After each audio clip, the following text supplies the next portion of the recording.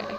So I wrote this poem in front of Aqua yesterday, and the second I started writing it, I was like surrounded with people unnecessarily walking right by. I, I can't write a fucking poem without people trying to see what it is or film what it is or whatever. So I started writing this. Um, well, I finished it yesterday. It took about I don't know four minutes.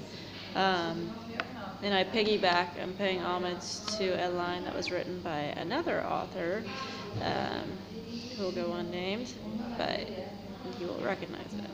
Okay, it's not the same line, but it's an homage.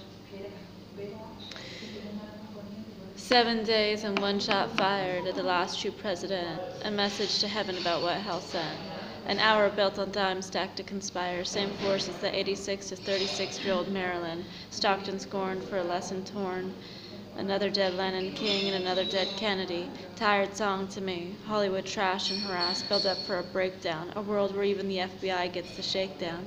And your own will cross you faster than you can sign your name on the dotted line. X marks the spot and quicker your death because even if not literal, joining is exiting the holy departed. So, dearly beloved, we are gathered here today to remember yet another soul that was sold for pay. Give me the rest.